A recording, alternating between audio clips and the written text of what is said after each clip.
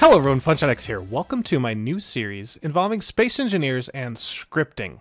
I want to give you a tutorial, an example, a demonstration on how you can put your own scripts and write your own scripts even, uh, and put them into space engineers and accomplish really complica complicated tasks, things you can't do with just a normal timer block or manually adjusting settings. Um, we're going to be able to do some really, really cool stuff. Now, the first things you have to know uh, when scripting in Space Engineers is there's already a ton of scripts available on the Steam Workshop. So if you want to do something, chances are there might already be a script existing, so you can just go download it. And you can also use those existing scripts as a resource to learn. So me being new to Space Engineers scripting, I went and downloaded a few scripts, read through them, figured out the system, looked at the wiki, and I think I've got a good handle on it now. Second thing you need to know is that scripts in Space Engineers are written in C Sharp. So um, you kind of have to know object-oriented programming. Uh, if you know Java, you kind of already know it. It'll be really easy transition. Uh, but if you're used to something like Lua, it might be a little bit more of a jump. If you don't know how to code at all, I suggest you um, come back to my tutorial series after you've gone and looked at a few other just generic C-sharp tutorials on the web, some from something like W3 Schools or some other website. So here we are, at FunShineX Laboratories. Awesome. Look at this world. It's beautiful. little uh, lab built on the hill. I'll take you on for a little tour. Inside, we've got a uh, security station here. Uh, as you enter in, whoever sits in this chair can uh, make sure you pass security clearance to come inside. A few programmable blocks, some LCDs, stairs leading up to the ceiling where there's nothing up there. That's for future expansion. Uh, we got some cubicles in here with a few monitors, timer blocks, controller, or, uh, programmable blocks, that kind of stuff. Some more LCDs up there. Those are pretty cool LCDs. I like them a lot better than the vanilla ones. Here's another cubicle. Uh, over here we've got a little uh, more console area, little um, design table for uh, hashing out some complex designs with the team, another little more private setting, and then here's like the main control center for the laboratories. All right, so let's enough of that. Let's get actually into some coding. What I hope to accomplish today is give you an intro to coding and scripting in Space Engineers, enough that you will be able to write Hello World to an LCD. That's right, we're to do a Hello World tutorial. Typical, anytime you want to learn a new language, script, environment, anything you want to learn, you might you might as well learn how to write output hello world or or some kind of text to a screen because it's going to come in so handy later. A lot of what we're going to do involves writing text to a screen. It just uh, it makes the game more immersive and uh, gives you a lot of control on what you display. So before we do start scripting, we need to know two vocabulary terms, and those terms are the grid and the terminal system. Grids are actually pretty easy. Anytime you create a new ship, large or small, or a new station, you are creating a new grid. So if I come to the G menu, if it loads up here, hit new small ship and place it on the ground, that is now a grid. If I add blocks to it, I can add whatever blocks I want here. Oops, well, I didn't actually put them in my thing. Let's actually get some.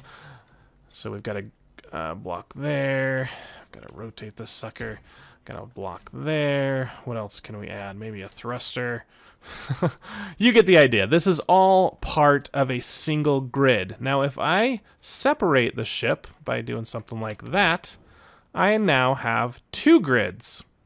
They cannot talk to each other. They are on separate grids. They have no knowledge that the other one is there, other than the physics interaction between them. Uh, if you give them like an antenna, I guess you can kind of talk to each other. Um, but they are separate grids for all intents and purposes.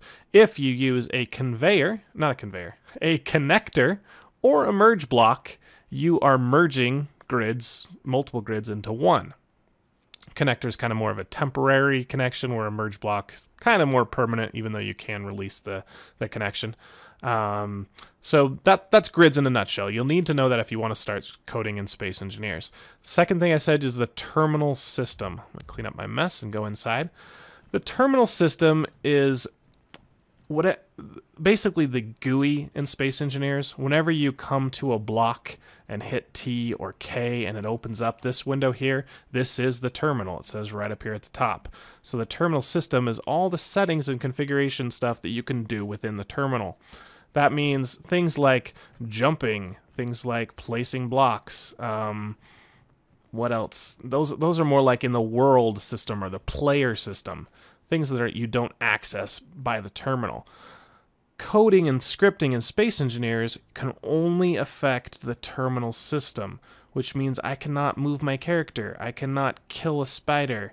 Um, I cannot really drive a ship other than kind of controlling a, um, a, a yeah, you know, I can't like you know do mouse input that kind of stuff. Um, that's all the player system, and we are limited in Space Engineers only to coding and scripting against the terminal system. Now, within the terminal, there's multiple tabs that you guys saw. Inventory, control panel, production info, blah, blah, blah. Terminal system only affects inventory and a control panel.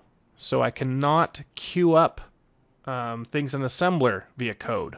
I can turn the block on or off because that's part of the control panel, but I cannot check what's currently in production, and I cannot queue something production, cancel anything, can't do it. I can't get access to the info tab and change any of these settings via coding. I cannot join a faction, leave a faction via coding. I cannot send chat messages via scripting, and I cannot uh, create new GPS points. All right, makes sense? Cool. So that's what you're limited to. And now let's talk about, even though we have limitations, what we can do. Anything that you can do in these things, two panels, you can pretty much do in script. So I can do things like move inventory, move things into inventories, assuming they are connected. I can um, turn things on and off. I can get groups and affect entire groups. Um, I can open doors. I can turn reactors on and off. Uh, what else can we do? We can start timers. Um, we can write to LCDs. So anything you can kind of do in these two tabs, you can pretty much do in scripting with a very a few subtle um, uh, discrepancies that we'll, we'll come up with as we get to them. Cool. Well, that covers everything you need to know. Let's actually start writing scripts. so what do we need to do to write a script? We need to build a programmable block. That's this block here, and that's all what all your scripts are on. Each programmable block can hold one script and one script only. So if you want to have multiple scripts, you need multiple programmable blocks. Also, each script is only executed once when you hit the run menu. There's not a way to run a script and leave it running for hours and hours, always executing even if you, if you well if you try space engineers um, counts all both the number of lines of code and how long it takes to ex execute. And if you go over whatever their limits are you get an error message that literally says your program is too complex and it quits it. I love that. It's like no too complex. Don't run so you can do things like sleep or wait or you know execute something a million times you, these scripts are really designed to start run really fast, and end. So that's kind of as you're designing what you want to do, think of that. If you want something to run multiple times, you simply combine a script with a timer block. The timer block can say, wait five seconds, execute a script, call myself so that I wait five more seconds and do it in a loop over and over and over again. Okay? So, to write a very simple script, we've got the programmable block. We want to output a message to this LCD. Let's get going. Here we go. So here's the programmable block. I'm going to first name it just so I know what program is running on this. So we'll call it hello world. Okay, there we go. And we can edit here. We also can turn this block off so the script will not run. That's pretty handy. Uh, we also need to make sure the owner of the programmable block, which is set to me, but remember in creative it gets set to no one by default, needs to be the same owner or belong to the same faction as the block you're trying to affect in the script. So if I'm trying to write to an LCD that's owned by no one and the program is owned by me, I can't do it. Okay, so I need to make the LCD owned by me, put it in the same faction, all that kind of stuff. So there we go. Um, we can also run the program manually. We can pass in arguments, and that's pretty cool. So if you come into edit mode, you'll see the start of a program. All it says is void main. Main is the entry point for your script. is called every time you click the run button. It's called only once and executes till it's done. That means anything you put outside of main is um, considered a global. Um, if you create a variable, something like an integer value, call it test equal to zero, that is now a global value variable it's executed before the script runs and then never again. It's just retained as its value. So if you want to initialize a variable to something um, like a, a starting state or a starting value, set it outside of main, and then inside main, you know whenever main is called, you can you know edit it and it won't get reset and all that kind of thing. We'll worry about that a little bit later because we don't need to know that to write a script um, to affect the LCD. First thing we're going to do, you're going to need to know grid terminal system. now, now you know exactly why I tried to explain what a grid is and what the terminal is, because this object in Space Engineers is pretty much the source of everything else. It's your main class to get access to the grid terminal system. Makes sense, right? Um, from here, use you know period um, to get access to its members and, and properties. Um, we want to call a method to get a specific block. Now, there, there are methods to get all the blocks in the grid, and there are methods to get specific blocks, either by name or by other you know values, like things that are turned off, things that are damaged, uh, rotors that are currently rotating, you know, kind of like that. And we'll get into those search algorithms later. But the easiest one to use is get block with name. All that means is find me a block in the grid system that has a specific name and you pass in a string. I don't know what the string is now, so I'm going to leave it as an empty string.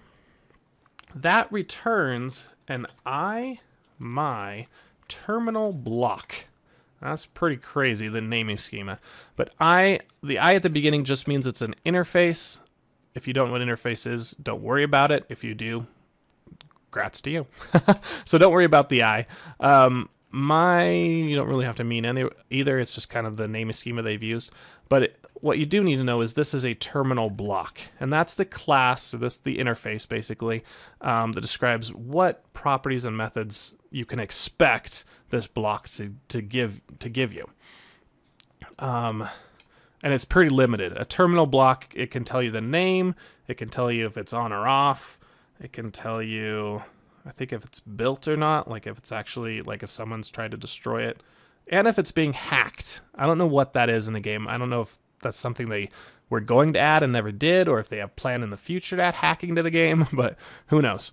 Um, but we don't want that. We don't want a terminal block. We want an LCD and that is of type I, my text panel. Text panels, LCDs, all use the same uh, interface called my text panel. Now, how do we take the I, my terminal block and make it an I, my text panel? We just type as. Now, as long as what we get back can be cast, as is a cast operator, um, to a text panel, this will work. If we get back a reactor, because we type something like reactor 1 in here, and we try to cast it as a, a text panel, we're going to get an error. But as long as we know that we're getting an LCD that can, you know, that is a text panel, we're good to go there. In C Sharp, you need to put every uh, semicolon at the end of your statement, and we need to actually store this as something. So I'm going to come back here and say I, my text panel. Oops, I use camel case. C Sharp is case sensitive, if you don't know that. Uh, call it display and equal to what that whole thing. So we need to know what we want to put in here. I'm going to hit check code. Check code is a compile. It just makes sure that there's no syntax errors in your program. Um, it won't verify things like, you know, that you actually do have a block with that name or you can even access it, that kind of thing. Um, that's going to be a runtime error. Um, remember, an exit does a save and exits the terminal. And the one we wanted to get was this one right here, which is called wide LCD top. So I'm going to copy that and come back in here and we can paste it right in there. Okay, so now we, we should have a reference um, to the text, the LCD in the, the variable we called display. Now we want to write to it. So we do the display object that we've already saved, and it has a method called write public text and we pass that a string. And we can optionally pass a parameter to append or not. Um, if you leave it out, it will by default um, overwrite. You know, it will not append. It will, it will, get rid of what you had and, and only put this text there. Um, or if you write false, that will, oops, should be a comma there. That will mean don't append, overwrite. If you write true, that will say just append to the end of what it was already there. So we're just going to leave it blank because we don't care what was there before.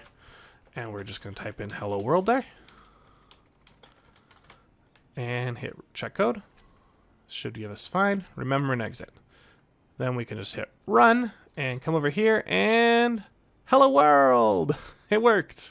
All right, that might not have worked on yours if you're following along. Make sure you come into your LCD block, come down to the bottom, and say show text on screen public. It, I think it defaults to none, and you'll see something like offline, and you're like, what the heck? Just make sure that says public. Okay. Um, everyone rewrite is the default. You could change the, you know, what the color and all that kind of stuff if you want. But that's basically it. That's how you take text and write it to the screen.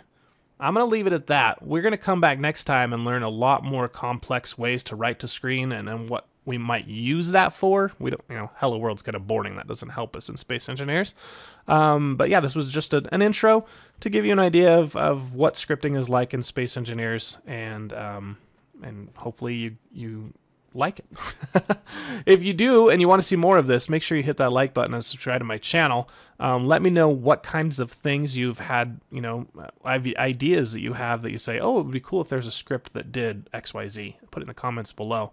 Um, but I intend to cover, you know, reading and writing LCDs, um, controlling blocks such as pistons, rotors, um, uh, thrusters.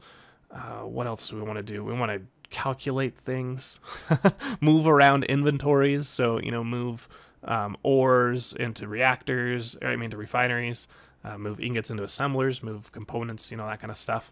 Um, so all that in, in inventory management.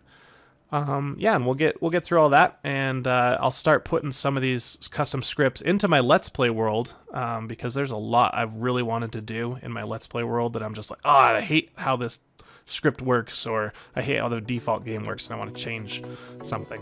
So that's going to be it. I hope you guys liked it. We will see you next time in FunshineX Scripts Space Engineers. Catch you later. Bye.